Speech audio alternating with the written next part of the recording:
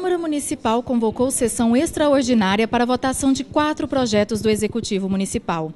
Sobre estas matérias, nós conversamos agora com o presidente da Câmara, o vereador Luiz Lacerda. Presidente, do que se tratam estas matérias? É, Trata-se de uma convocação extraordinária feita pelo Executivo. Na realidade, o foco dessa convocação é um projeto que pede autorização legislativa para que o município possa adquirir financiamento junto à Caixa Econômica Federal para dar sequência nesse programa do PAC 2 e o PAC da mobilidade e também aí o PAC do asfaltamento. Então esse projeto é para ser aplicado aí na infraestrutura de transporte e também no, no, no, no, no plano de mobilidade urbana do município, que o prefeito precisa realmente da autorização da Câmara para dar sequência nesses projetos aí que trazem benefício para a cidade de Anápolis. Um financiamento de cerca de 22 milhões de reais, que ele será, será aplicado em alguns bairros que não receberam o asfaltamento ainda e alguns bairros que foram asfaltados, mas ficou uma rua ou outra sem asfalto.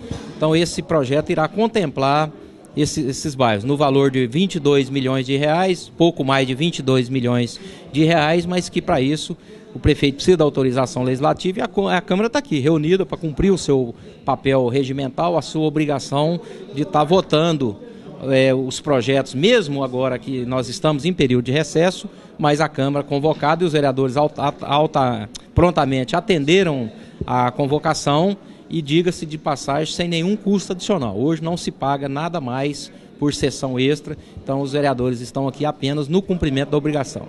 Presidente, tem também outros projetos importantes que foram analisados como Bolsa Atleta. Sim, havia, havia uns outros projetos já tramitando aqui na casa e que nós já estamos aproveitando nessa sessão extraordinária para já zerar a pauta aqui em relação aos projetos do Executivo, que são alguns projetos realmente são projetos importantes, tipo esse aí do Bolsa Atleta, que precisa já ser finalizado logo para poder dar andamento no programa. E nós, nas nossas sessões ordinárias, elas retornam apenas em agosto. Então nós estamos aqui hoje em sessão extraordinária e estaremos também à disposição aí durante o mês de julho, assim que o prefeito achar por bem fazer nova convocação.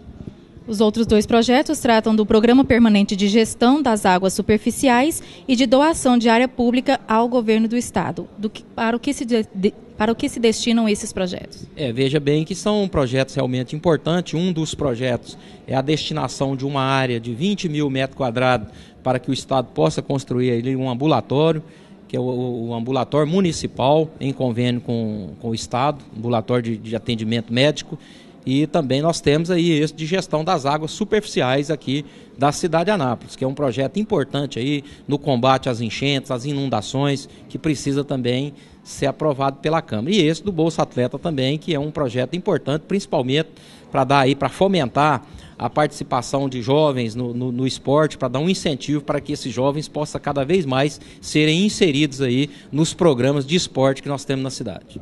Presidente, a votação destes quatro projetos zera toda a pauta da, da Câmara Municipal. Sessão extra, nada previsto apenas por convocação do prefeito. É, na realidade, zera a pauta em relação aos projetos oriundos do Executivo. Nós temos vários projetos dos próprios vereadores tramitando também, mais de 60 projetos foram apresentados nesse primeiro semestre, muitos deles aqui nós já deliberamos mas a pauta agora será zerada em relação aos projetos vindos do Executivo. Mas se houver necessidade, a qualquer momento que a Câmara Municipal for convocada, eu não tenho dúvida que os vereadores estarão aí de prontidão para poder atender qualquer convocação extraordinária.